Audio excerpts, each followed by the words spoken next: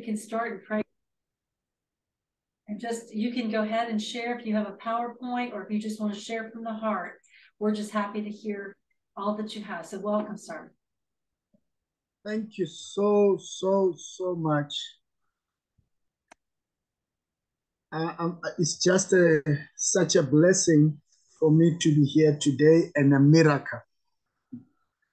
Uh, I'm with my wife here, uh, Patricia, and we have been praying. We have been praying, and, and the Lord has just given us this breakthrough. And um, so I am so excited. I am so happy. And I'm looking forward to this blessed time. Before I can, I can continue, uh, I just want to introduce myself officially. I am Abel Vusumuzi Zuma and married to Patricia Zuma for the past 28 years. The Lord has blessed us with three children. Their names is blessing, honor, and praise. And by God's grace, we have adopted two children, which is Ria Leboga and Tsegofato. And I have been in the ministry for the past 23 years by His grace. And just before I get into my presentation, I just want to take this opportunity to thank you, Dr. George, and to thank you, Dr. Nancy Daniels, for three things. Thank you for your patience. You've been so much patient with us, especially with me. Thank you for your encouragement. You've been such a great encouragement to me personally, and I appreciate you so much. Thank you for your commitment in loving and working with different nations all over the globe. And I, I, I'm, I'm so thankful to the Lord that He connected me miraculously with you and, and to this day. And just to say some few words is that there were times, you know, where I felt that enough is enough. I just want to let go. But you kept on encouraging me. You kept on being there. And I'm so thankful, Dr. Nancy. I'm so thankful, Dr. George. And, and I just give God all the praise and glory for your lives. So the theme that I will be speaking about tonight is prayer and intercession. And I say prayer and intercession is the greatest tool given to humankind by God. I just want to repeat it again. Prayer and intercession is the greatest tool given to humankind by God. And I just want to start by the background plus African culture. You know, the background of, of prayer plus African culture. Personally, I'm, I'm, I'm born from a clan of Zulu. It's a Zulu nation. And it's a very staunch ancestral worshippers. It's a very strong believing people who believe in ancestors. And, and according to this clan is that we have to pray to the ancestors. And one of the myth or something that is wrong that they believe is that when someone or my father or my mother dies, he becomes an angel that will take prayers to God. He becomes an angel that will take my prayers. I, I don't have to pray to God, I have to pray to them, and they can take my prayers to the Lord. And as a child, I was I was raised from a strict, uncompromising ancestral belief.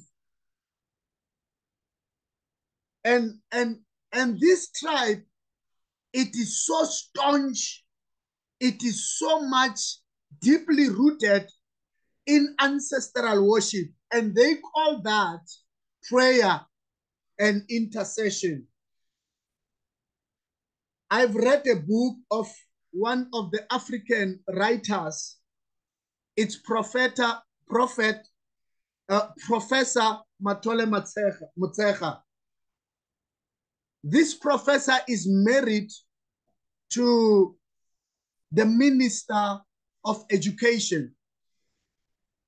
And there's a book that he has written.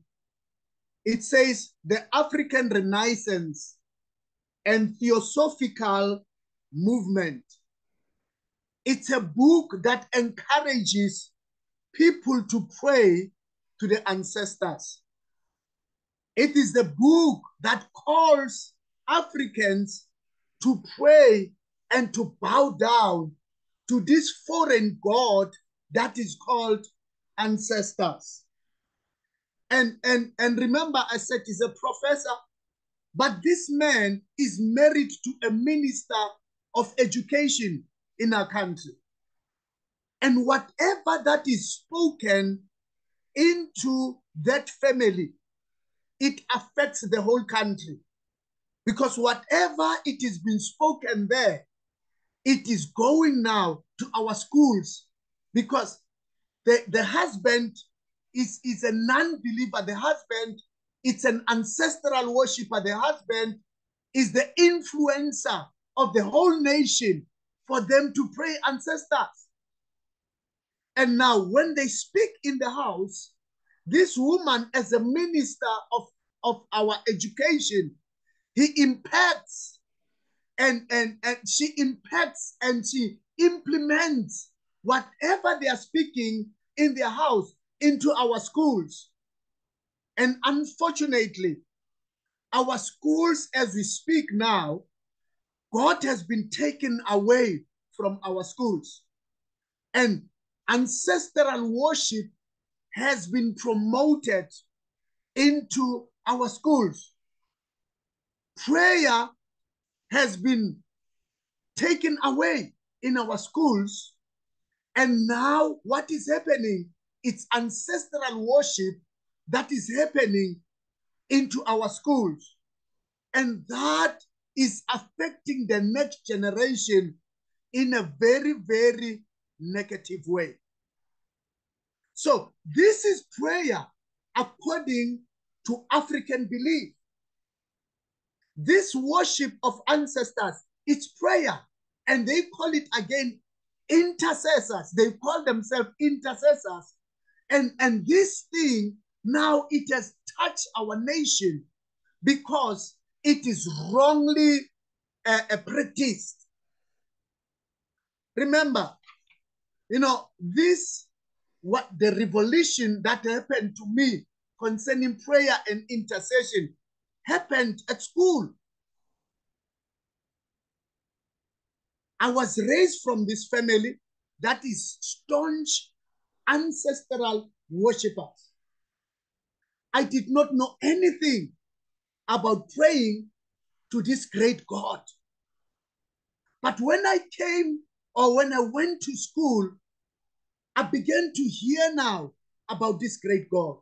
I began to hear about the power from on from on high. I began now to believe that God, there's a God, there's a there's a there's a power that is above all powers, other than the one that I knew of, other than the one that I was told about. And I began to realize from school that really there's a God who is above ancestors. There's a God who is above worshiping of these ancestors. Because we are raised in this family. Every month there will be slaughtering of goat, there will be bloodshedding, and and and with this, it will be rituals that will be done to ancestors. We will be praying to ancestors. When there is funeral, every time before anything, they will call ancestors. They will do rituals. This is this is the foundation that I was given into. This is the foundation that I was born into. This is the foundation that I was brought up from. And by God's grace, it is at school where I got this revelation about the great God. The great God of Israel, the great God who created the heavens and the earth, the great God who is above anyone and any situation. Now, as a child, I was very much confused because when I can choose to go with this God, I will be abandoned as a, from the family. I will be chased away. I will be rejected. But I had to take a standpoint and accept Jesus as my Lord and my Savior. And when I accepted Jesus as my Lord and my Savior, there were times when these monthly and, and quarterly rituals will be done, and I will reject them. And I will be rejected by the family for not doing what they wanted me to do. And they will tell me that I'm still a child. I need to honor my parents. I need to do what is right. But telling the honest truth, I could sense in my spirit that something is wrong here. And I have to take a decision. I have to worship this God. I have to pray the ultimate God. Yes, rejection came, but I took up a stand and I said, I, whether a, a rejection or what, I'm taking a stand. I am going to worship this ultimate God. His name is Jesus Christ. Really, rejection came from the family. But I continued. I, I, I lost a lot of things because of this rejection, but I continued. And God has been so, so good to me because I took a stand. From the family itself, I took a stand. And as I can speak to you today, as I'm speaking today, my entire family got to know Jesus through the stubborn faith that I had in the Lord. They saw the difference. They saw that there is this God that we did not believe in. There is this God that we did not love. There is this God that this young boy came with, and this is a real God. And as I'm speaking today, they have accepted the entire family. They have accepted Jesus as my Lord and their as my Lord and their and their Lord. And today, the entire family they call upon the name of Jesus. The entire family. We even have a, a clan where we come together and we pray and we trust in the Lord. But when I remember where I come from, I had to have a stubborn faith for them to see that there is something that is happening in these people. There is something that these people are believing in. This God is a real God. What encourages me on the literature rev, uh, uh, review, I read about a man, a book called Answer to Prayer. And the second book of George Miller that I read, it says, release the power of prayer. You know, when I read about John, George Miller, I saw something that revolutionized my life. It was in the 1839 when God called George Miller. And the Lord told George Miller to start or to build orphanages in Europe. And George Miller trusted in the Lord with all of his heart. He trusted in his Lord, in the Lord for provision. He never, he never in his book, he never even asked for anything from anyone. He prayed and he interceded. In the entire Europe, there are orphanages that are full around Europe, built by this man through prayer and intercession. George Miller has inspired my life so much. And there's this verse that really turned my life upside down. It's we find it in, in the book of Isaiah 65. In the book of Isaiah 65, I will just read it because this has touched me so much. Isaiah chapter 65. Isaiah chapter 65. It says, The Lord said, I was ready to answer my people's prayers, but they did not pray. I was ready for them to find me, but they did not even try. The nation did not pray to me, even though I was always ready to answer. This is the Lord speaking. And, and through prayer and intercession, when I read this verse, and this verse was given to me while I was sleeping, the Lord said, I was ready to answer my people's prayer. But they did not pray. God is expecting us to pray. God is expecting us to trust Him and to pray and to call upon His name. And as we call upon His name, He answers our prayers. He says, I was ready for them to find me, but they did not even try. wow. I said, Lord, in Isaiah 65, as you have spoken to me, I'm going to pray.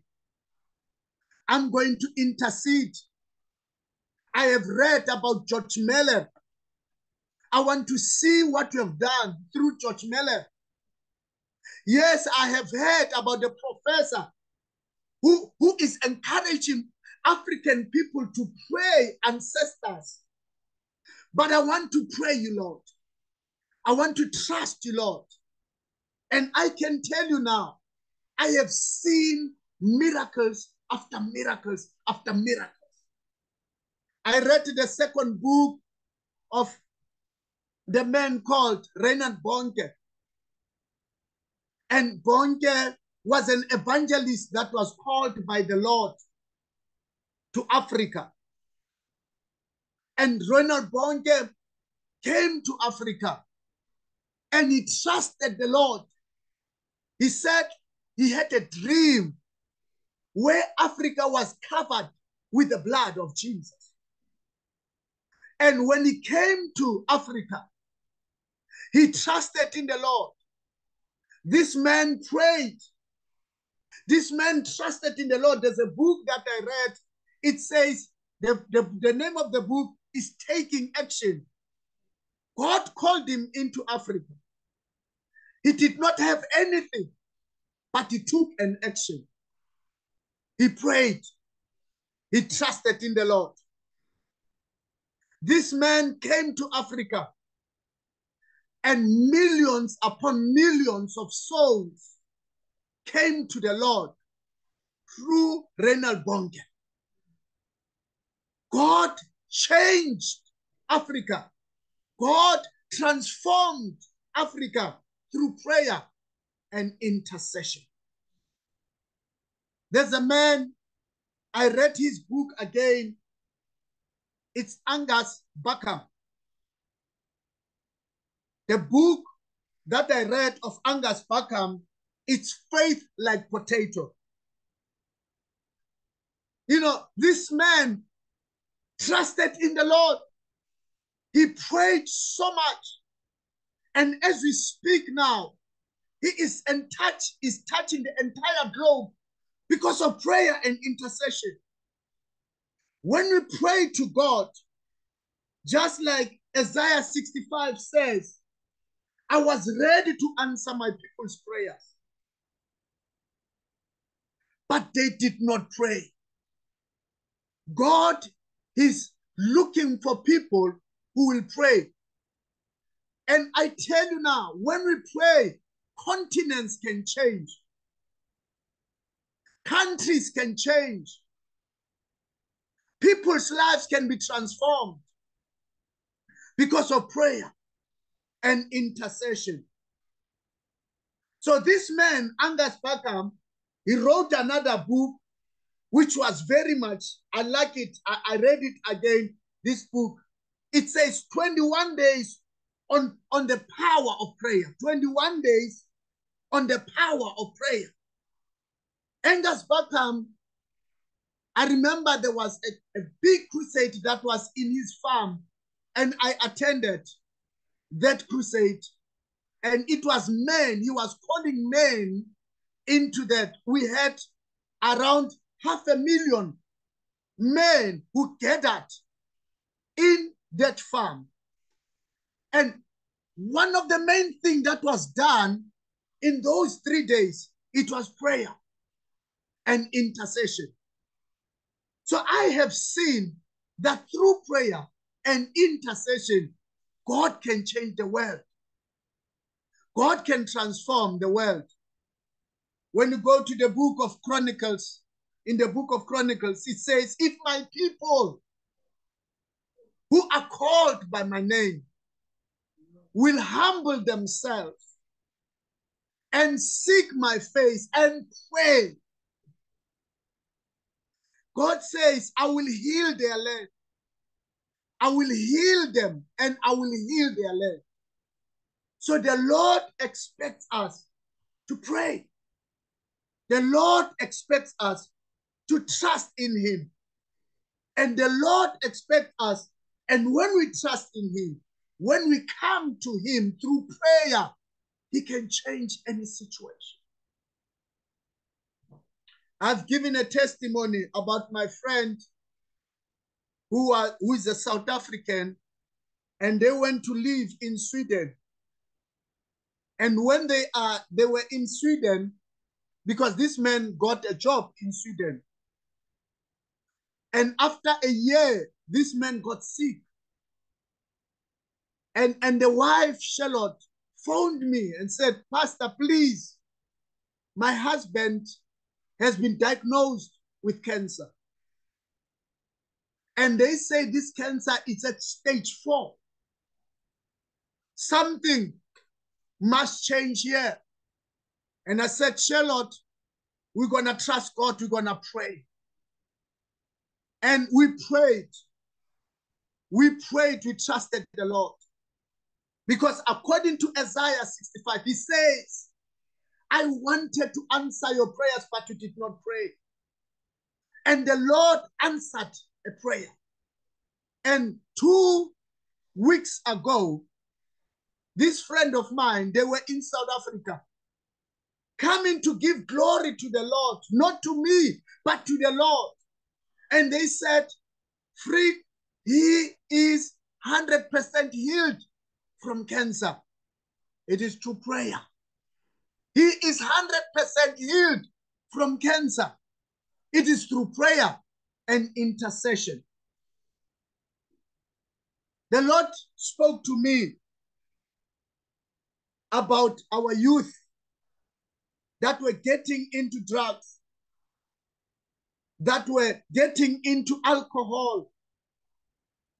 And the Lord said, I need to come up with a solution for these young men.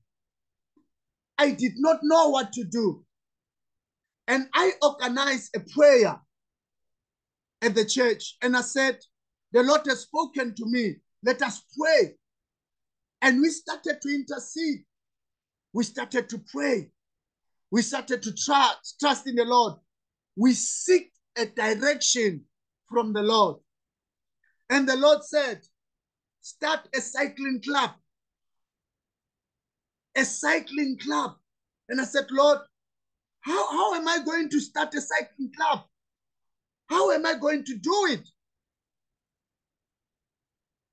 How am I going to do it, Lord? And the Lord said to me, He gave me a, a word from Isaiah 55, from verse number one. The Lord says, Come, everyone who is thirsty. Here is water. Come, you who have no money, buy corn and eat. Come, buy wine and milk. It will cost you nothing.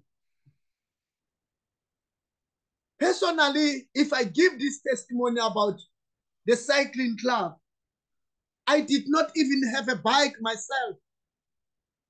But the Lord says, start a cycling club. And I prayed and I trusted in the Lord. As I'm speaking today, we have over 100 bicycles that the Lord provided. And, and, and, and this cycling club is growing vigorously because God provided through prayer. So I am encouraging people. I am encouraging myself and everyone that when we pray, God answers prayers. When we intercede, God comes through for us. When we pray, God changes our situations. When we pray, God transforms our lives. God transforms our lives. God just connected me. He just connected me to people. He just connected me to, to, to people, and God provided. What we did, we just prayed. According to Isaiah 65, I just prayed, and God answered prayers. You know, I, I, I believe with all of my heart that for me to be in this class, it is because of prayer. It is only through prayer. Because th there was no way that the Lord can do it, but He did it through prayer. And here I am, am I today, giving a presentation that God, when we pray, when we intercede, He can change our country. He can change the globe. He can change South Africa. He can change Myanmar. He can change any situation. We only have to trust Him. We have only have to pray and to trust in Him. So prayer it is the greatest tool that the Lord has given humankind. Now, when I go to the giants of faith, the giants of faith, when we read in the book of Acts, chapter number 12, the giants of faith, I, I have spoken about the professor who have influenced people in a negative way. I've given a literature review, and I, have I've gone even to George Miller, those guys that lived in this world, the, the, the, those who touch different lives. And today I want to go to the guys who have touched my life so much in the Bible. You know, in the book of Acts, chapter number 12, those were the times when King Herod was in charge. And the Bible says he had James, the brother of John, to be put to death by sword. And when he saw that this pleased the Jews, he went on to arrest Peter.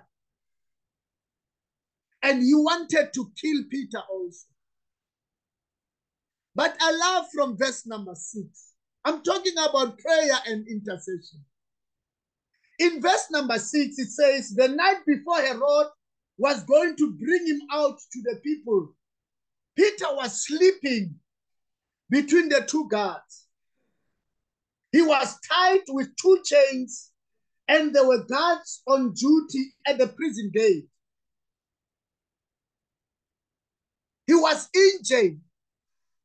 But when we read very well, it says, and the church was praying. The church was praying. And God sent an angel because the church was praying. You know, when we pray, situation changes. When we pray, the power of God, the power of the Holy Spirit is manifested. Peter was about to be killed like James, but the church prayed the whole night. The church interceded for Peter. And when the church interceded for Peter, heaven released an angel to go to jail and to release Peter from jail because of prayer. And the Bible says, after Peter has been released, he went where the Christians were praying, where the church was praying. And as he knocked on the door, a young lady went to the door and he says, Who are you? He says, It's Peter. And instead of opening, she ran inside the house and said, Peter is at the door. He said, No, no, no, that is a ghost, it's not Peter. They were praying, and God answered a prayer immediately. And God released Peter immediately. This is a God that we prayed unto. And when we pray upon this God, He answers immediately. He changes people's lives immediately. God transforms lives immediately. And Peter was released from jail because of prayer. Amen. Amen.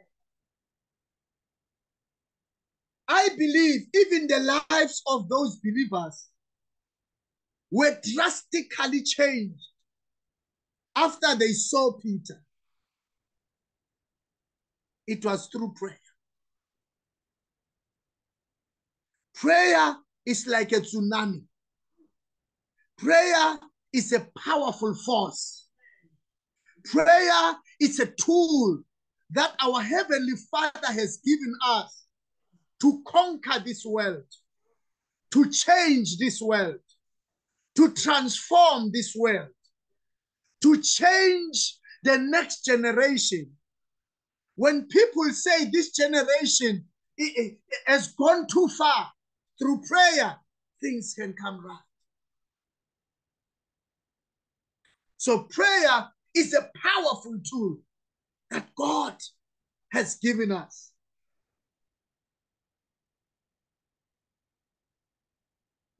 Bible says about Peter, Paul, and Silas. The Bible says, for preaching the gospel, they were, they were taken into jail. And the Bible says, in the middle of the night, they worshiped and they prayed. And the Bible says the jail was shaken to its foundation because they prayed and they worshiped God. So through prayer, powerful things can happen. Through prayer, lives can be transformed, lives can be changed. Through prayer, we can see so many things happening. So many things happening because of prayer. So prayer is powerful. Prayer is, is it, this is a tool that the Lord has given. I have seen it in my life. It's my personal testimony. I have seen it in my life. When we trust in the Lord, when we pray, things happen. Now, I'm, I'm speaking from, from, from a side where poverty, and, and I call it because I hate it so much. Poverty, I, I hate it so much because it's demonic. Poverty is not from the Lord. Poverty is from the pit of hell. Now, now, now, when you are from that perspective, you know how evil is the enemy. And, and you cannot sleep. You will pray and you'll pray and you'll see things changing. During the time of COVID, you know, when people were dying left, right, center, when people were dying left, right, center, and we prayed as a church, and we said, Lord, here is COVID. What is it that you have for us? And the Lord gave us a word in the book of Psalms 118, verse 17. I want to read it.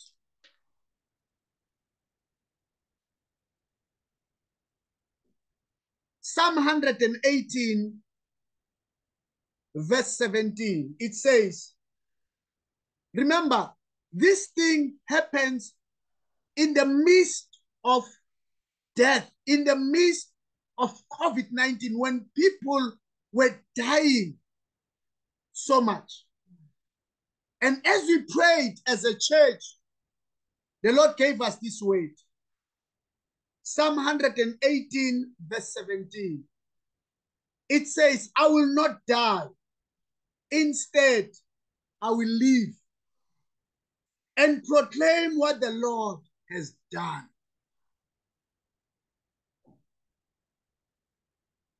Before the Lord, I can give a testimony because we stood in this word and prayed and trusted the Lord. Since COVID, I have never even buried one person. Not even one. I'm talking about people that I know personally who have lung, severe lung problems in the church. I'm talking about grannies, 100 years, 90 years. Those are, are people who, who have a lot of sicknesses. But when we stood and prayed through the word of God that He has given us, to this day, as I'm standing before you, Dr. George and Dr. Nance, as I'm standing before you, we have never buried even one through prayer and intercession. So prayer is a powerful force. Prayer can let somebody who is busy dying live again. Prayer can resurrect people. Prayer can transform our nation. Prayer can transform the world and the globe. Because prayer is a powerful tool. So we need to trust in the Lord. And as we pray and as we trust in the Lord, God, the Lord will do it again because of prayer.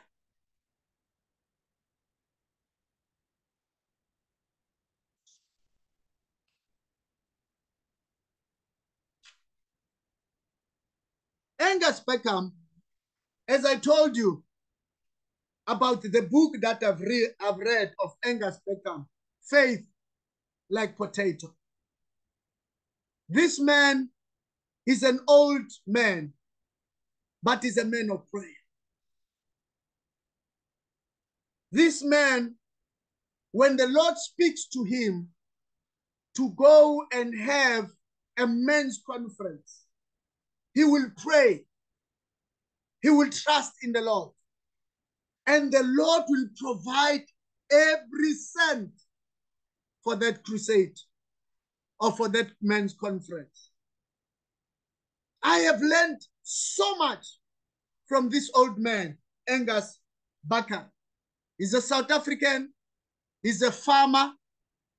I remember he gave, even in this book, he gave a testimony that there was a time of drought. And and and the, as as there was this drought, and and everybody was was was in a panic mode. All the farmers around him, they were in a panic mode. And they did not know. And these were times where they have to get the harvest. They've planted, they are looking for harvest, but there was this time and that time was was was a, a time of of of of drought. And angus Buchan prayed. In south africa we call this man a man of rain. He prayed and god poured the rain because somebody prayed an ordinary man like Angus Buchan, he prayed. There's, there's a time in his book where he, he, he gave a testimony that in Cape Town, in South Africa, in Cape Town, there was a time where there was no water. And they have came to a place where they say it, there's a zero uh, uh, uh, time where there will be no water at all because there was no rain at all. He went to Cape Town he prayed to the Lord. He humbled himself before the mighty God. And the Lord poured the rain in Cape Town. And I can go on and on and on. When we pray, God changes situation. God can bring the rain when we pray. God can heal our land when we pray. God can transform the next generation when we pray. God can turn around the wickedness that is happening in our schools, in our country, in these uh, time, times where people are, are, are worshiping ancestors. When we pray and intercede, God is able to change the situation. Right now, as I speak, we have a very serious, serious, serious uh, situation in our country that has to do with load shedding. We have what we call electricity crisis. You know, we have engineers, they've tried everything. We have politicians, they've tried everything, but nothing is working. And we have called prayer. We have called prayer. We said, Lord, now the engineers cannot do it. The president cannot do it. The politicians cannot do it. The, those that we trust, they cannot do it. And we came and went to the Lord. And I can testify that since we have started to pray concerning this electricity crisis, things are turning around, things are changing. God has intervened, God has started to change the situation because of prayer. So, prayer is the most powerful tool that the Lord has given us. Prayer is the most powerful tool that we have on our hand that we can use. The Lord gave me this word, Psalm 50, the Psalm 50, 5 0, verse 15. The Lord says, I'm speaking about prayer and intercession. He says, Call on me, call to me when trouble comes. I will save you and you will praise me. And when the Lord says, Call on me, He says, Pray to me. He says, Intercede to me, call on me when trouble comes. We look around the world, it's only devastation, it's only trouble. And the solution is prayer. Because the Lord called to me when trouble comes. When the economy is shaking, he says, Call to me when trouble comes. When the war is raging the world, he says, Call to me when trouble comes. He says, I will save you and you will praise me. God want us to call upon him. He want us to pray. He want us to trust him. He want us to bring everything to him. He says, bring your burdens unto me, for I care for you. In the book of Peter, he says, bring all your burdens, pray unto him, bring them to me, intercede, call upon my name. Then, me as God, I care for you and I will change your situation.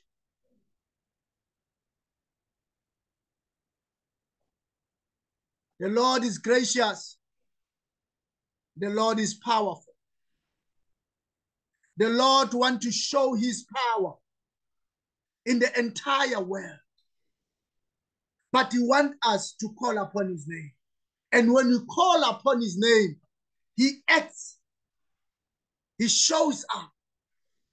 He changes things. He transforms people's lives. God want to answer our prayers.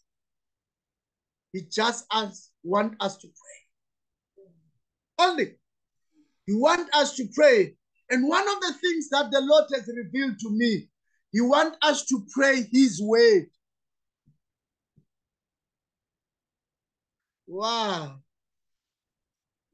Wow. He want us to pray His word. And when we pray his word, you remind him of his word. That's why in the book of Isaiah says, by his stripes we were healed. So when I pray for anybody who's sick, I come to him through his word. That Lord, you said, by your stripes we are healed. And every time when I remind him of his word, he heals people miraculously. So, what a great God that we serve. I look at the life of Paul. As I've already alluded, when they prayed, the jail or the prison was shaken to its foundation when they prayed. They did not do anything wrong. They, they, they were preaching the gospel and they were taken into custody because of preaching the gospel. They never complained to God. They never, when they, they were faced with tribulation, they never complained. They praised and they worshiped the Lord. And they prayed. And God came through for them. So this is my take. I believe prayer, it is the cornerstone that can change things today. Prayer, it is the, the weapon that the Lord has given that can change things today. Yes, I believe and I see with my eyes that the world is in chaos. I see that the economies are in chaos. But it is only prayer that can turn things around. It is only prayer that can heal people. It is only prayer that can transform things. One day, this lady, his cousin, got into an accident. And, and this guy, when, when the accident occurred, it was so bad that he had to be airlifted by an helicopter because this guy was about to die. And when he was in the ICU, this lady is in our church and he called me, said, Pastor, please, can you come and pray for my cousin? At least before he dies, pray for him.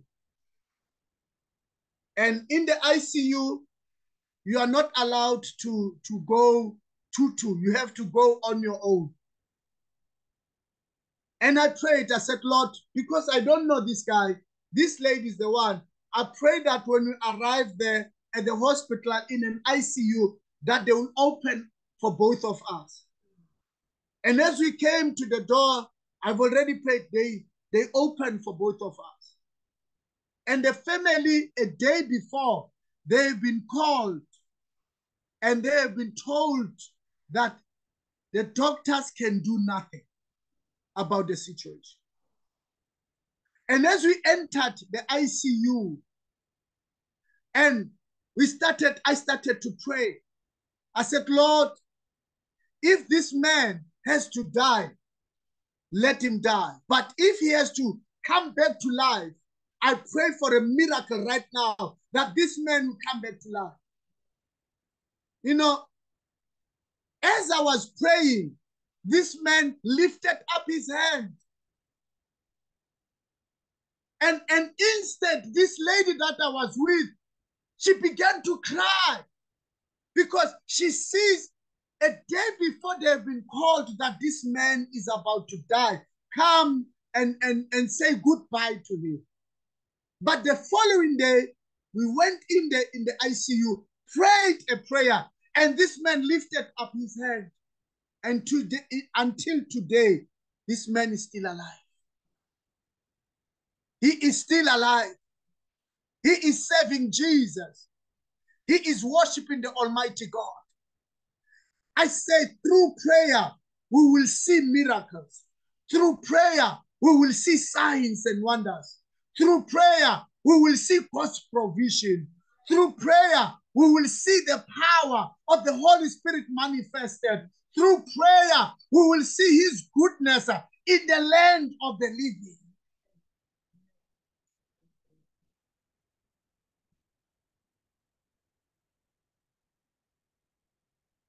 As I'm coming to the US, it has happened miraculously. I did not have a visa. I did not have money for ticket. I did not have anything. And the Lord says, call upon me. And I call upon his name. And as I'm speaking to you, I have the visa. The ticket is ready. The hotel has been paid. So we, we serve a God who says, Call upon me, and I will show myself powerful. So this is the God that when you call him, he comes through for you. This is a God when you call him, he can heal your family, he can heal your children. This is a God when somebody has been has been abandoned. They say they don't even know, the family don't even know where he is. When we pray, God touch him wherever he is. And they come back. Prayer is doing so powerful things. There's a lady that came, and this lady had a misunderstanding with the husband. And the husband prepared everything for the children. They had three kids. And the husband took the children, he went overseas. This woman did not know where her children were.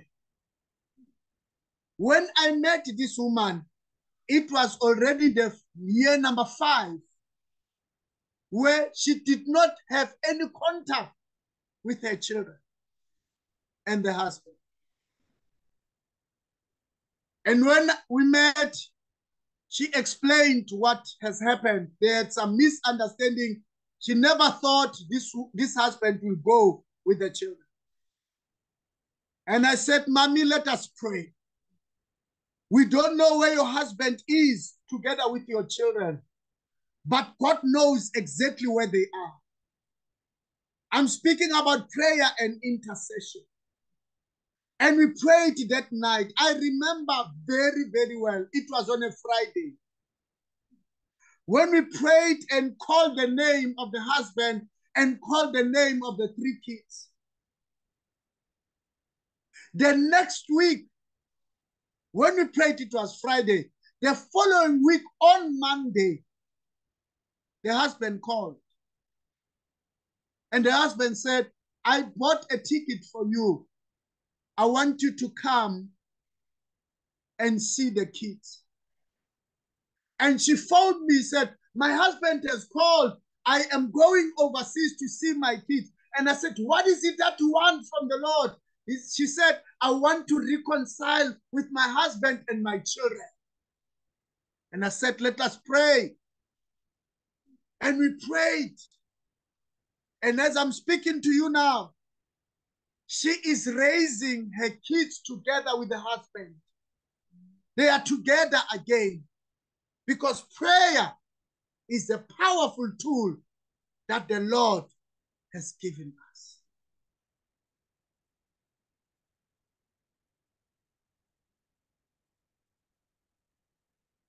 Wow. So I'm so blessed and I'm so happy that the Lord revealed this miracle of prayer. And prayer changes and transforms things.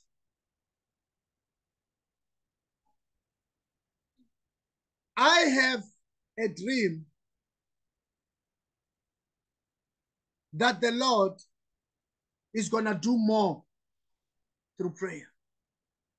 I have a dream that the world, even if it, it's in such a turmoil, but the Lord can change things through prayer.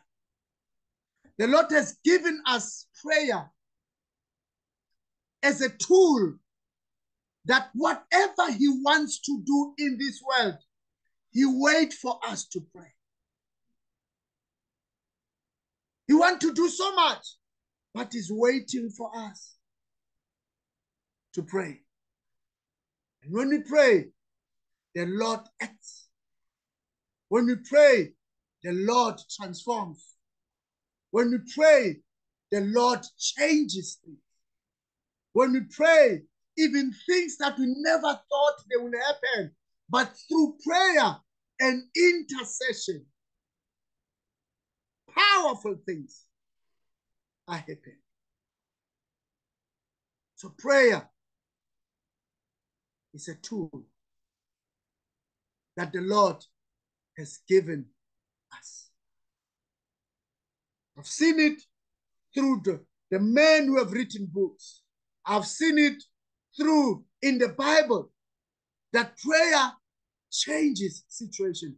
I've seen it in my own life that prayer have changed my life.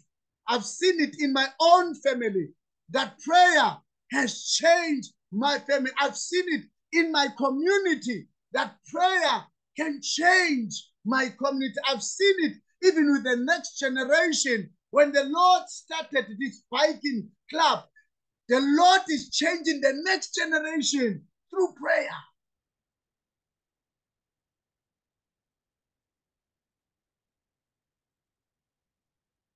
So I am so excited to speak about prayer and intercession. I've seen it working and I continue to see it working. I continue when when when when when I pray, I continue to see God changes things. There's a time when the, when when there was a lot, lot. I mean, in Africa, I, I, will speak for Africa. There's a lot of witchcraft happening. Lot, lot of witchcraft. And and witchcraft is, is something that we have opened the door for witchcraft. And witchcraft was happening inside the church. And the Lord revealed that there is a, a clan, there is people that are doing witchcraft within the church. And the Lord said to us, take a 21 day fasting. And we prayed for 21 days. I remember the last day was on a Sunday. And the Lord exposed witchcraft. And the Lord revealed. And the Lord changed the church to be fire revival because when the Lord moves with the fire of the Holy Spirit, anything that is of the kingdom of darkness must die, must leave, must give away. And that happened through prayer. So I am I'm here to encourage the soldiers in the kingdom of God that let us not get weary of prayer. Let us continue and pray. Let us let us intensify prayer. When the enemy will come like a flood, the Holy Spirit will raise the standard. So we need to raise the standard of prayer. We need to raise the standard of prayer. We need to raise the standard of prayer. And when we raise the standard of prayer, God penetrates and God is able to change situations. So prayer, it's a powerful tool that the Lord has given us. When we go to the book of Jeremiah, chapter number one, I see God changing the life of this man called Jeremiah. He says, I knew you, Jeremiah. I knew you. Before I formed you in your mother's womb, I knew you and I separated you. I put you aside as a prophet among the nations. Jeremiah was very much afraid. He did not know that the Lord can do so much about his life. But God is God. I want to read it. In Jeremiah chapter 1, verse 1, I'm speaking about the giants of faith, people who prayed unto the Lord. The Lord said to me, verse number 4, I chose you before I gave you life. And before you were born, I selected you to be a prophet to the nations. I answered, Sovereign Lord, I don't know how to speak. I am too young. He's giving excuses now. But the Lord said to me, Do not say you are too young, but go to the people I send you to. Tell them everything I command you to say. Do not be afraid of them, for I will be with you to protect you.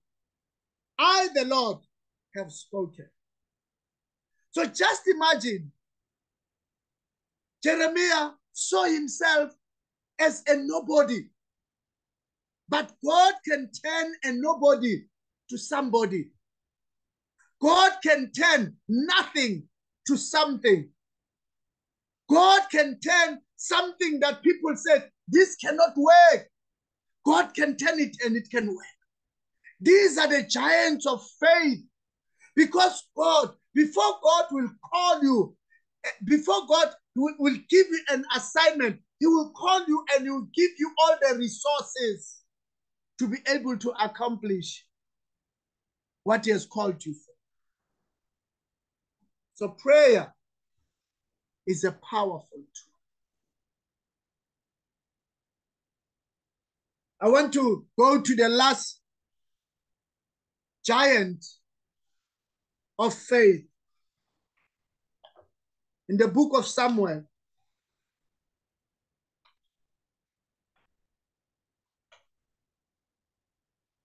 In the book of Samuel,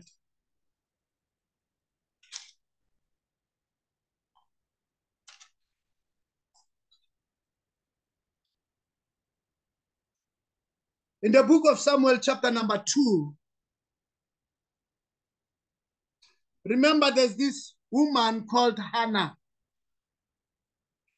And the Bible speaks about Hannah's prayer. And in the book of, of, of, of 1 Samuel chapter 2, it says, Hannah prayed. The Lord has filled my heart with joy. How happy I am because of what he has done. Remember, Hannah had no children. And Hannah went into the house of the Lord. And he called it. When Eli said, Hannah, are you drunk? He said, No, no, I'm not drunk, but I'm pouring my heart to the Lord. He prayed earnestly. He prayed so much. And the Lord answered Hannah's prayer.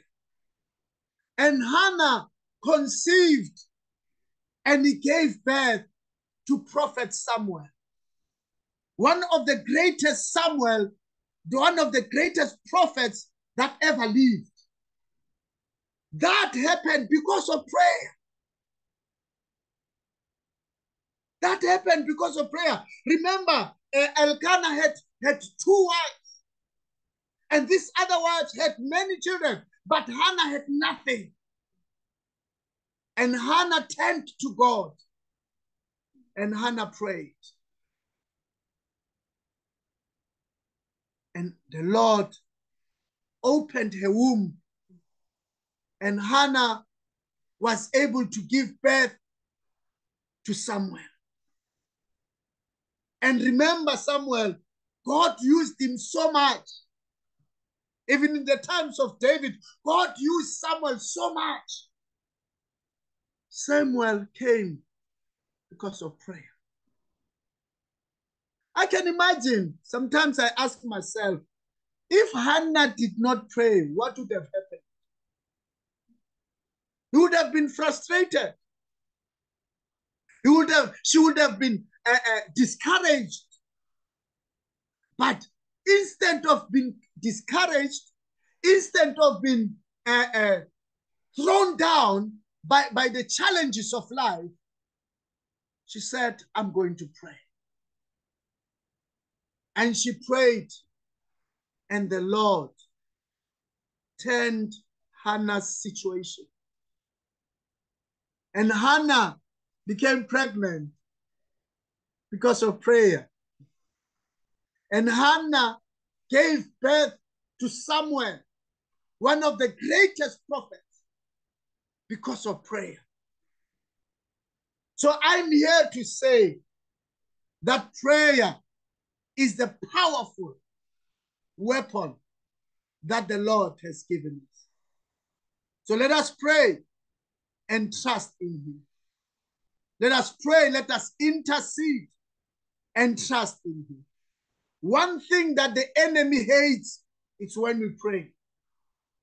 That is why he makes Christians to be wary. he makes Christians to be discouraged, he makes Christians not to want to pray because he knows when we pray, there is power that is coming forth. When we pray, there are changes that are coming forth. When we pray, there are miracles that are happening. When we pray, there's a transformation that is coming forth. When we pray, God is coming with his glory when we pray. So I'm here to encourage every one of us. Let us continue and pray. Let us continue and pray. And when we pray, miracles will happen. Given this last illustration, there was a time when a terrible accident happened. And this young man, when the accident happened, he went through uh, the windscreen and the car came over him. And I was called in that in, in, in, incident. And I could hear clear the, the Spirit of the Lord saying to me, because the place was barricaded. There were police, there were uh, uh, uh, traffic officers there. You couldn't go over the place that has been barricaded. And I could hear the Spirit of the Lord saying to me, Go over the barricade and go and pray for this young boy. I'll raise him to life. You know, it is a cry of my heart even today because I, I, I became so afraid because there were police, there, were, there was everybody there. And I did not pray for that young man. I did not pray for that young man. But the Lord spoke to me go over the barricade and lay your hand upon that dead body, and I'll raise it to life. And there was so much fear inside me. And there were so many questions. What about you go there and you pray and nothing happens?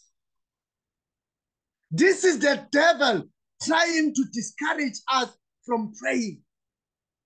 And Dr. George and Dr. Nancy, I want to confess, I never, I never went and prayed for that young man. But I believe if I listened to the Lord that day, people that were there, when they see this young man raised back to life, they would have been saved. And I cried to the Lord and I asked the Lord forgiveness for not listening to him.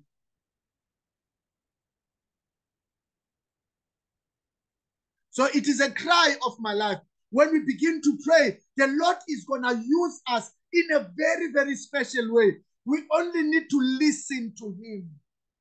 And when you listen to him, shun away, remove fear, because prayer and fear are not friends.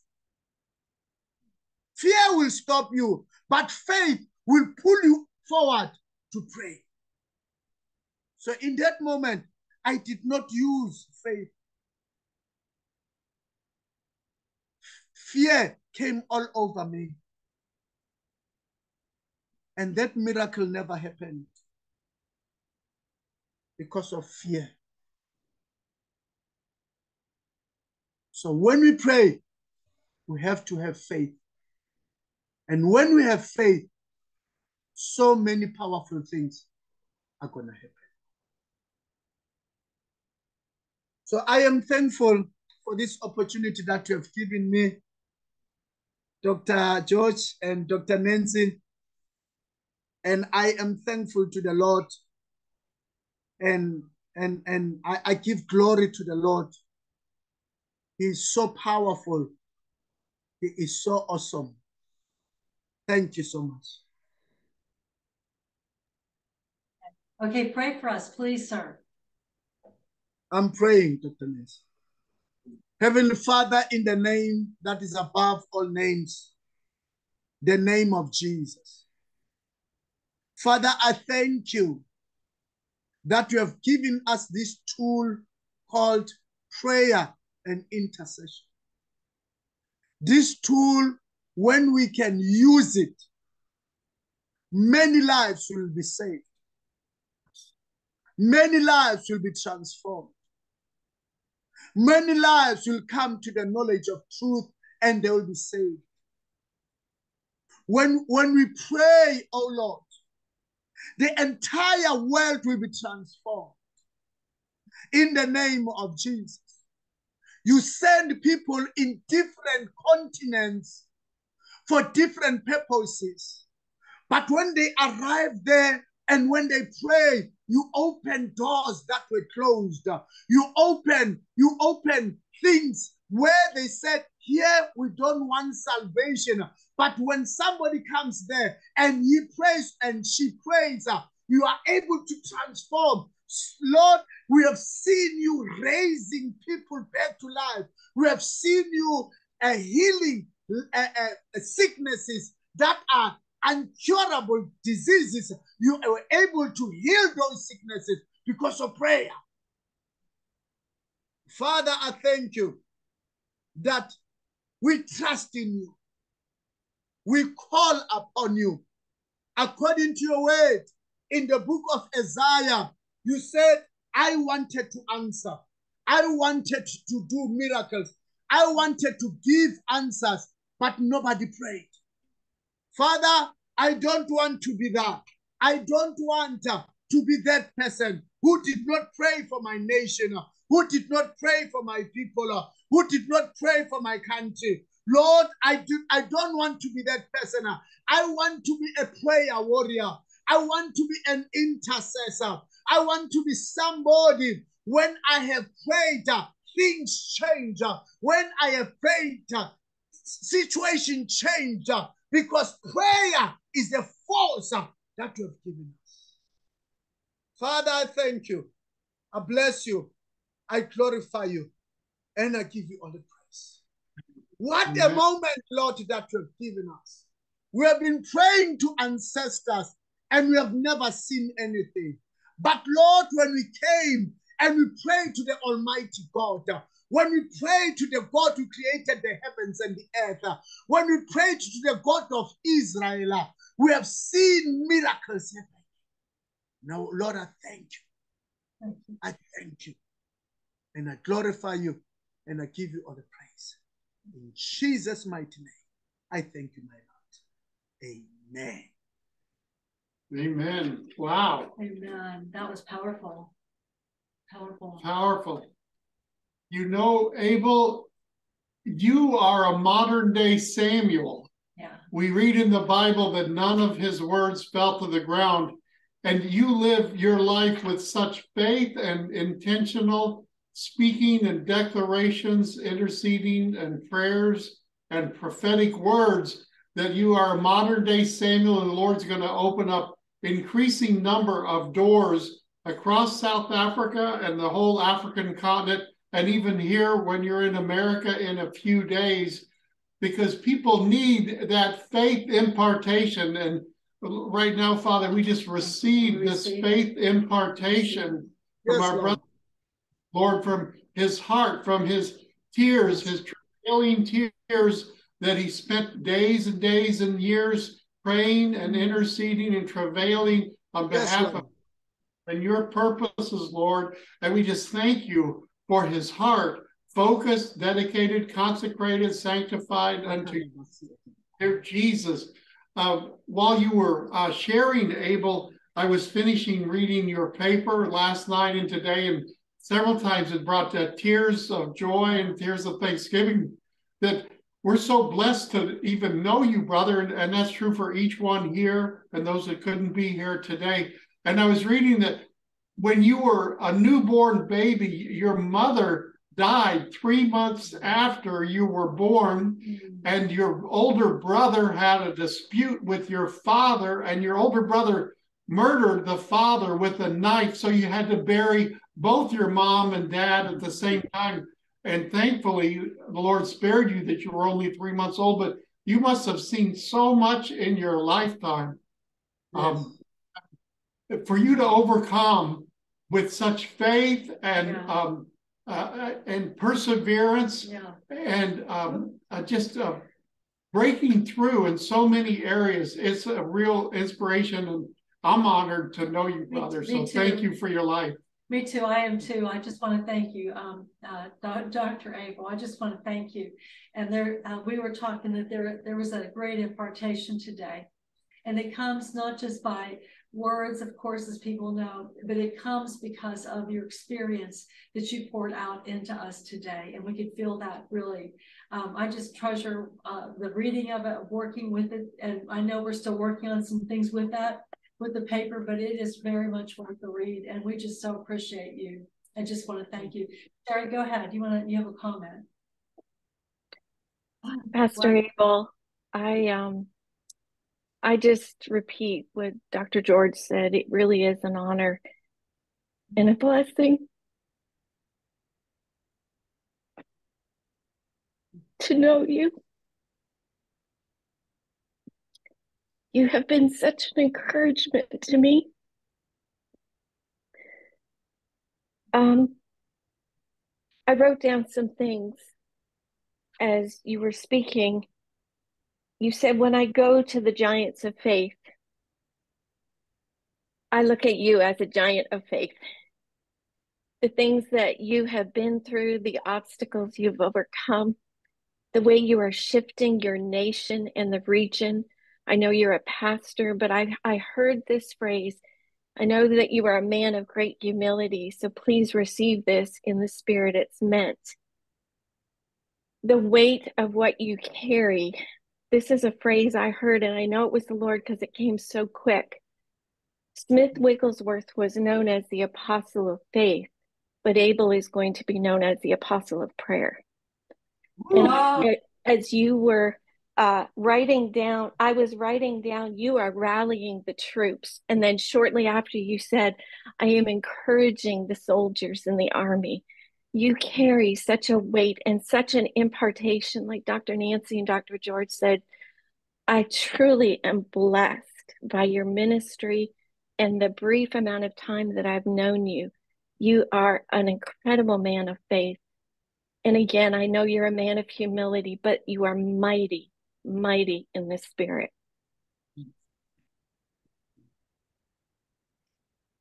Thank you so much, Sharon. Um, Julie, did you have something? Somebody else just jump in. I, I just ditto. I feel so empowered to pray after listening to you. I really do. It just, Sherry said something about your imparting. You really, you did more than talk about prayer. You imparted um, mm it's like you imparted the ability to us. In other words, you your your words just spoke like you can do this. We can pray together, and there can be results. I, I, it was more of an. I felt more of an impartation um, than necessarily just collecting information. Um, there was a lot of good information, but I felt like there was more of a spiritual impartation of prayer as you spoke. So I, I, just, I hear what Sherry said, and, and really, Amen. Yes, and Amen. Very good. Thank you. Thank you so much, Jolie. Who's on? You got something? Just jump on, unmute, sir, please. Baba abo wena kulumile katle mina bonga kulu lo kulu kulu na kona la paka wena. Hallelujah. I don't get much chance to speak Zulu. I mix it with Russian sometimes, but uh, I'm I'm enjoy your your your uh, talk and just your manner uh, led me long back so much to Africa and and the people of our country. And uh, you you inspire us um, to wherever we are to to walk out our call and to pray. And and you encourage me to to pray more. My wife is more the one that uh, have your your level of prayer life but uh, and it have carried us for many years. And uh, but i thank you for your humility and and power that you you you you don't just talk out of education you talk out of experience and mm-hmm. and that is powerful thank you Thank you so much. Thank you. More comments. This is great. You speak Zulu Russian. I didn't know there was a language called Zulu Russian. I was the only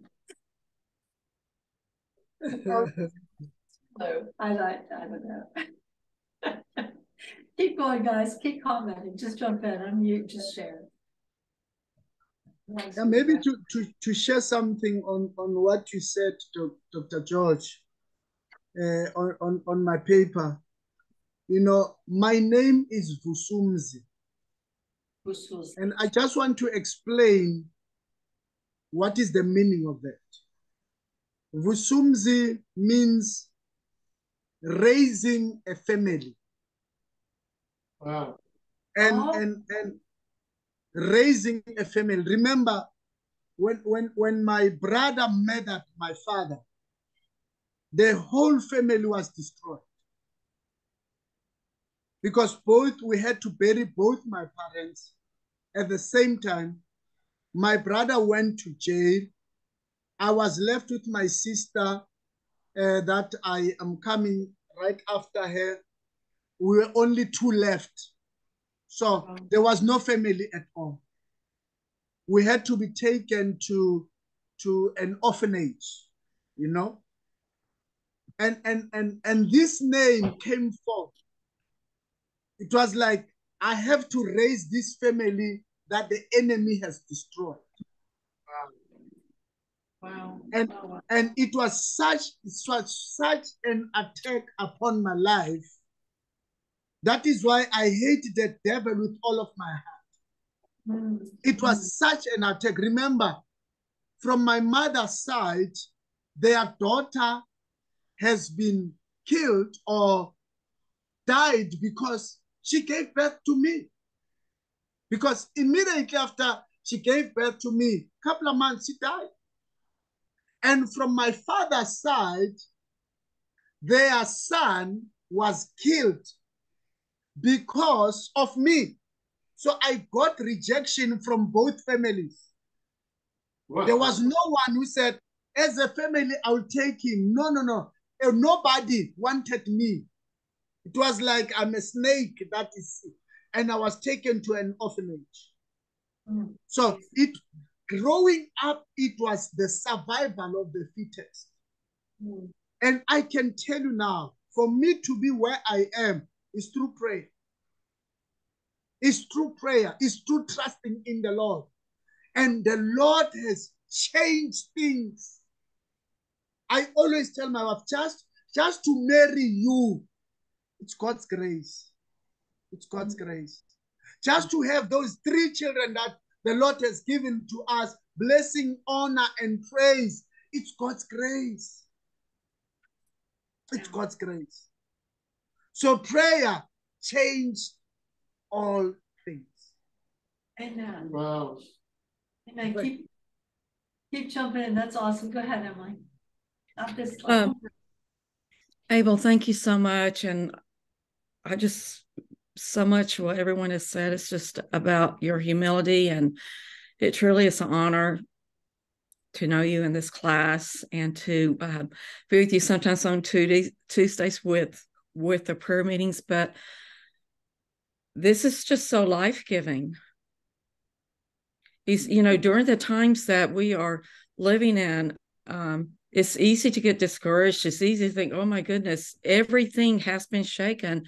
But yet you're you're reminding us and encouraging us through your life and through your experience that the kingdom of God is real, that you can call on Father God, that He's gonna answer your prayer, that He's gonna change things. All we need to do is to be willing to do it and to believe that His His word is faithful. But um the verse came to me um Second Corinthians 10 2, the weapons of our warfare are not physical, weapons of flesh and blood. Our weapons are divinely powerful for the destruction of fortresses. We are destroying sophist- sophisticated arguments and every exalted and proud thing that sets itself up against the true knowledge of God.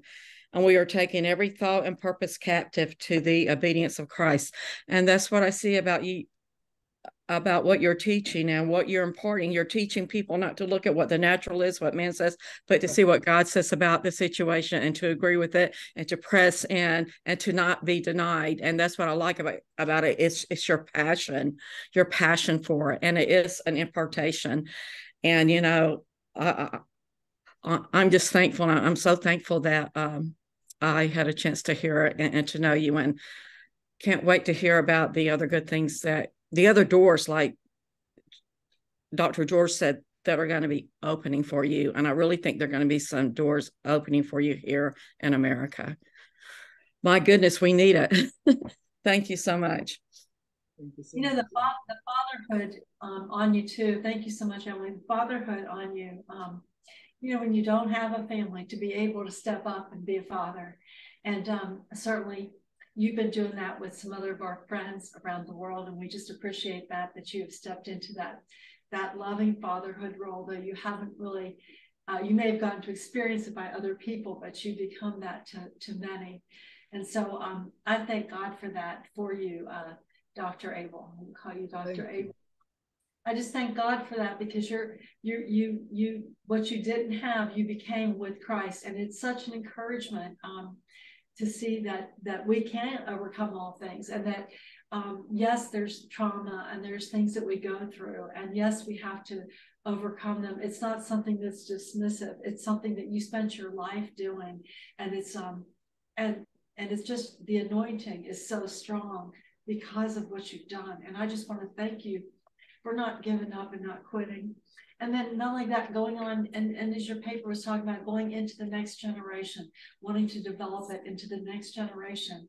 And the Lord said, yeah, start the bicycle club, which, you know, I mean, to me, that among so many other things. So I just want to thank you for not quitting when it would have been easier to quit. And just thank you. I just mm-hmm. appreciate it because I'm so truly blessed myself.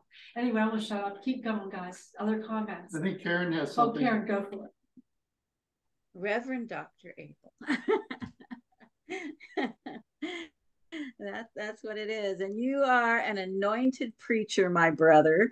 And it was a blessing to, I, I just felt like I was listening to you preach the word and that was really good. And I was blessed. And, um, you know, I don't, I, when I say I enjoyed it, I did. I enjoyed it. I, I, it's not like I'm entertained. I'm, I'm receiving, I'm listening and, I see the Lord on you with it. And um, good preaching will refresh, sometimes it will convict. Um, it will impart there's so many things that come through and and i really see that you carry a very powerful preaching anointing if you haven't preached this message to your church, I encourage you to do it because it's really a powerful message. We we need reminder of the power of prayer. I don't know if you heard about it, but we just came through 21 days of, of a fast and pray for Israel. I don't know if you guys participated in that. We saw the power of God move just amazing the things that were coming out of that um, during some of those prayer meetings. We were so blessed. And in the end, um, we had heard that on uh, Pentecost Sunday, that they mm-hmm. thought about a hundred thousand people through all the churches being represented and stuff would be praying for Israel.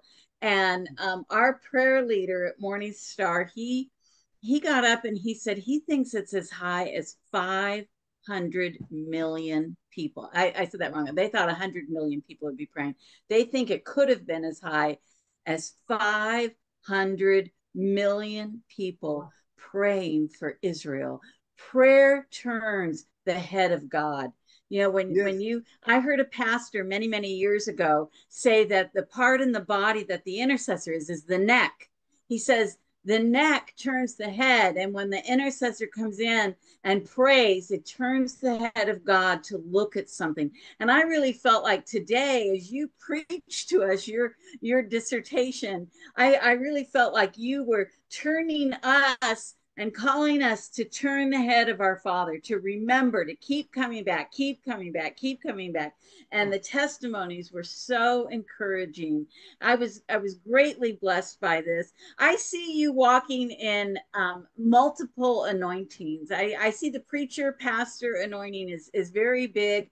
I feel that that I, I believe that's going to continue and I see expansion. I believe the Lord is saying, stretch out your tent pegs, Abel, stretch them out, stretch them out, stretch them out, stretch them out. He's talking to hearts and he's talking to minds and he's saying it's time to build bigger. Whoa, whoa, whoa. I don't very often, in fact, I don't know if I've ever told a, a pastor to build a bigger church, but I, I believe that's that's there. That's the timing. This is God. He's saying, build bigger. He's called you. He's anointed you. He's working through you. He's made you Reverend Dr. Abel for a reason. He's opening doors. He's opening opportunities, but he's drawing them in. He's it's Christ in you that is drawing them in, that is bringing them in, that is blessing them. And I want to say, I think your wife is listening to this, and I want to say that she is a mighty woman of God, and, and, and God shines through her. And the church, I haven't even met her face to face, but I just know it in my spirit that the church is blessed by her. They love her. And I want to encourage her to rise up and even more because God has purposed much, much, much, much, much, much, much more for you too as a couple as you minister and reach out to the people. I see more and more transformation in your nation. We were praying about the the power situation in in your nation and you know in the natural i'm praying for for more electricity to be generated but i believe god is saying in the supernatural get ready because here i come Get ready because here I come. Whoa, here I come, South Africa. Here I come, Abel. Whoa, get ready. Get ready. He's moving. He's moving with power and might. He will birth his children in South Africa, and you will be amazed and blessed that you get to be such a part of it. Thank you, Father. Bless him, I pray. Bless him, I pray. Bring it to pass, Father. Everything that you've written in your books for Abel, for his wife, for his children, for his ministry, bring it to pass, Father. Help them to walk in everything, that not one thing be left out. I pray in Jesus' name. Amen. Thank you so much, Karen. Thank you so much. Anybody else? Anybody else have anything? Abel, you know, um, I think Emily and Nancy were talking about the father in you, you know, with coming basically from no family, for you to have such a father's heart shows and proves and testifies of Father God's love through his son Jesus to be able to reach in you and to put his very heart inside of you to not allow a bitterness or root or hatred or any division like that when the family to come through. And now so many of your family members uh, receive Jesus as Lord and Savior. That that's that's like a, a a huge miracle, multiple miracles that has occurred in your life. And and I love how you you say every word, but you talk about it. It's only by God's grace. It's really true. I pray we all get a deeper revelation of how how pivotal his grace is and that it's only by his grace that we're here today so thank you brother Abel dr Abel Thank you, Dr. Josh. So, so anybody else have any other comments? This has been really wonderful. Dr. Abel, we have a few things left to work on with your computer, with, with your, and so we'll, we'll get with you on that too, but go ahead, Emily. I was just going to say the verse keeps coming to me the kingdom of God suffer violence and the violence take it by force. And I feel like that's you, that, you know, you're going to have everything that the Lord has has provided for us through his death and his resurrection and that that you're there and and you're taking it um for for the kingdom. So it's exciting. It's just encourager encouraging because you just pro pro propel us forward to follow. You encourage us to follow. Yeah. Thank you. Thank you. We're going to want to end in some prayer here too, and um, we have a couple requests actually since we're we're on this. But um, uh, for those of you who are coming to graduation on Friday afternoon around two ish, I think uh, Abel, you get here around 1.30 maybe on the second on Friday. But um, we're going to have a little practice around 2, 2.30 at the ballroom. Would love for you to come. If you guys are just coming to help, we'd still love to see you at that time because we'll, we'll need help with setup too. So we'd love to see you guys there. And it's going to be a really wonderful time. If not, if you can't come, please join us online so we can we can be together and celebrate our uh, brothers and sisters who are going to be walking. Would love to have you. Um, so uh, you know what? We're talking about uh, prayer. And, uh, you know, well, you had prayed for um, you had prayed for Kojo to come. So we want to continue to pray for him. He's had some, uh, uh, he's had a provision made, but um, that, you know, in Ghana, I know this is not that time, but since you prayed, I wanted to tell you today. Um, in Ghana, it um, there's a lot of fraud when people sign up for um, for uh, visa interviews, and so they're backed up a year. So he's waiting for somebody to drop off the list. And we have another person, Lois too, wait from Thailand to, to drop off the list so they can get in. They're, they're going to come the last minute, and this is the last minute. and it would be impossible unless God. So anyway, we are praying for that. Um, and then also you wanted to pray for Edgar. Yeah, Edgar uh, Persad, a dear friend of ours. Um, I talked to his wife Indira yesterday, and she said she's now telling Edgar, "You're fine get up and go. It's over. It's behind you. God has uh, made you new uh, by his grace. And so get up. And so pray for Edgar. And let's also pray for Rick. our dear brother, Rick Joyner, yeah. uh, who had a stroke Friday night. And, and we hear he's doing well, that his mind is, is sharp. He has some um, troubles on his left side, but we're praying for total restoration in every area and that he'll bounce back and he'll be Rick 2.0 better yeah. than ever before very soon. So Abel, pray for uh, Kojo to come, uh, Edgar Prasad's uh, health and healing restoration, and Rick Joyner as well. And then let's all let's all uh, stretch out our hands for um, uh, Pastor uh, Pastor Dr. Abel's safe journey here as well. Go ahead, go ahead, Abel. Go ahead. Thank you, Lord. Thank you, Jesus. Heavenly Father, in the most wonderful and most powerful name of Jesus, pray, Lord, for Kojo, wonder working God. You are a miracle working God. You are faithful and you are powerful. And Lord, there is none like you. Revelation 3, verse 8 says, When you have opened a door, who can close? Father, I pray for an open door for Kojo in Nigeria that he will come through. In Ghana, that he will come. Father, I pray even for the in, in, Thailand, Lord, for the situation there. Father, that you will come through. Heavenly Father, I pray for Rick Joyner. Heavenly Father, as we hear that he is recovering well, Father God, I pray that you are a miraculous working God.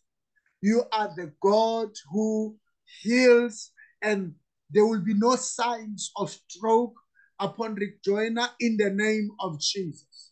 Father, I pray that you restore him, Lord, uh, to, to, to his perfect perfection, Lord, in the name of Jesus.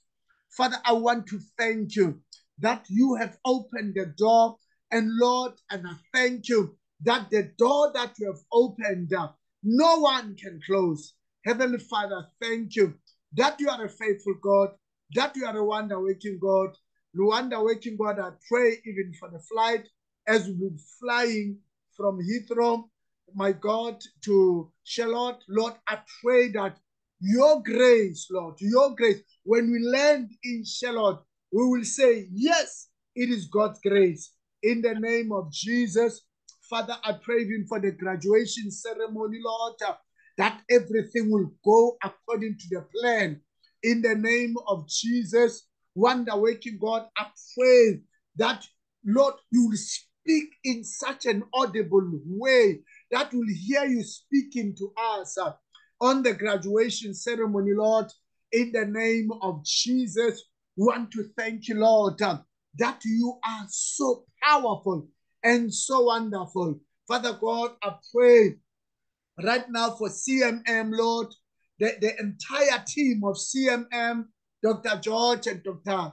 Uh, um, Nancy, and the entire team, Lord, uh, that there's no one is going to be sick in the name of Jesus.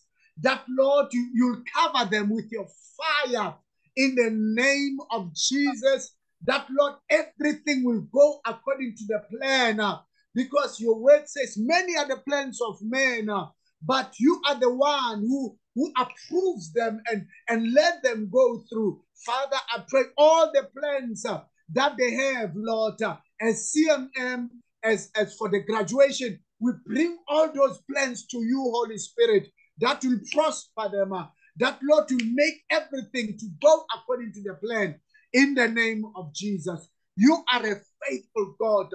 Father, I pray that things will happen your way, not our way, Lord, but your way. In the name of Jesus, we are sick and tired, Lord, of doing things our way. But Lord, we say, and all those things that we have done our way, they have failed.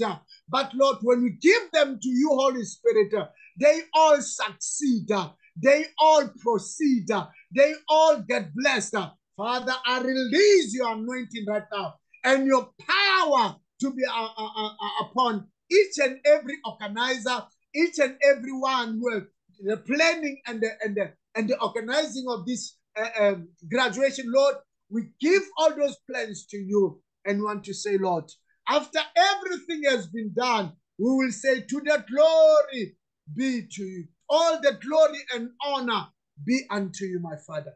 In the most wonderful and most powerful name of Jesus, I thank you, my Lord. Amen. Ooh, yes. Thank you, Oh, Lord. Thank you, Lord. Thank you, Father. Thank you, Dr. Abel. Thank you, Dr. Abel, and thank you, Father, for this year. We just kind of start, we're Yes, closing this year out. Yes. I want to cry. Lord, thank you so Thank much you, for Lord. this year. God, we thank you for your fire, Father, Yes. that was released, Yes, God. Lord. Thank you, Father, that this Yes. fire be released into every person Yes. that's on this call. Whoa, the fire of God, fire of God, stir up in them, Lord, Yes, even Lord. what you have for their calling, their Yes. destiny. Oh, to finish strong. Yes. All the things that you have for them, that those doors are open for them too, for their ministry, Father, for their love, for their families. Hey, to finish Yes, Lord. for the great harvest. God, whoa. yes. Father, I thank you, the fire, fire, Father, just burn in them, Thank God. you, The fire Lord. burns in, the bones, even though, Father, that it would continue to burn and light up the world, God, wherever they are for your glory, God, that you would be glorified in all these things. And Father. I just thank you so much for each person too. Just bless each one, God. Wrap your arms around them, Father. Let them feel your great love throughout this summer, God, and continue to encourage enlarge and bless their families as well, God, until we see them again next year. Whoa, thank Yes. you, Father. Thank you, Lord. Jesus' name. Woo. Whoa. Whoa. Do you have anything else? My high. Jesus. Whoa. Safe travels. Coming to graduation or wherever you're going Jesus, this thank you, summer. And bless you all. Thank And you. we'll meet again soon in Jesus' name. Thank you all.